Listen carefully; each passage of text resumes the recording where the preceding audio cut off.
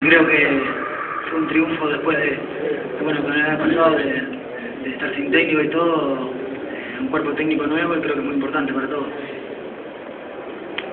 Pablo Nicolás Soto del F Deportivo, ¿qué importancia le dan a esta victoria, teniendo en cuenta todo lo que pasó? No, muy importante, como te digo, porque bueno, eh, son tres puntos muy valiosos que ya estamos pensando en el año que viene porque queremos entrar en Copa. Por acá, bueno, para Germán, primero, ¿cómo viste el equipo desde atrás? O sea, vos que tenés mayor claridad de juego y después, para Pablo, eh, seguir convirtiéndose es importante.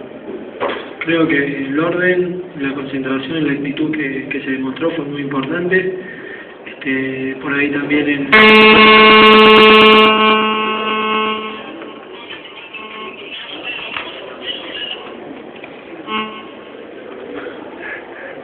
Ahí, eh, por ahí decía que, que en el juego aéreo se, se sufrió un poquito, pero bueno, es materia de trabajo y creo que principalmente hay que evocarse eso, hablo de lo personal y bueno, siempre en esto se puede mejorar.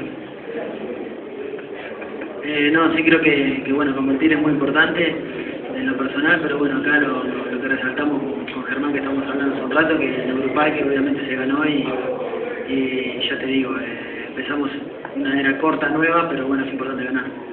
Ah, Germán, buenas, buenas noches. Eh, le preguntaba recién a Falcioni eh, cómo había visto el partido y me dijo que el gol tendría que haber sido gol porque no la tocó nadie. ¿Cómo la viste vos desde el arco?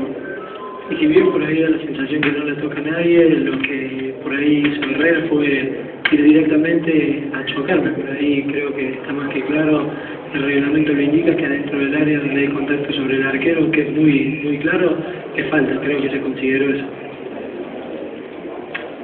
Germano, para Pablo, Mauro Palacio del programa de Vélez. Consultarle, eh, ya consumado, sabe que llega Augusto Cali a partir de enero.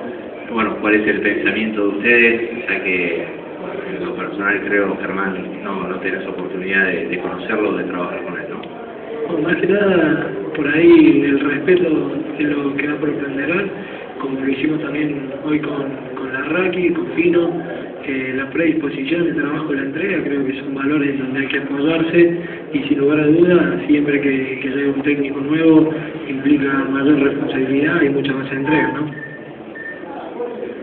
Sí, Guerrero, dos, quería preguntarles, tienen 26 puntos, no es una buena campaña, ¿cómo sienten la partida de Ricardo Revuelta más allá que obviamente?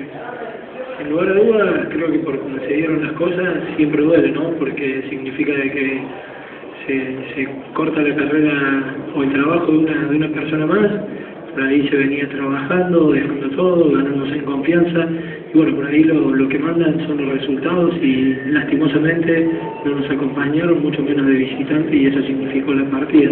Pero después en, en lo personal y en lo grupal creo que se trató de dejar siempre todo, este, y más allá de los conflictos o pequeños traspiés que tuvimos en el torneo, resolvió siempre de la misma manera, con entrega, trabajo y actitud.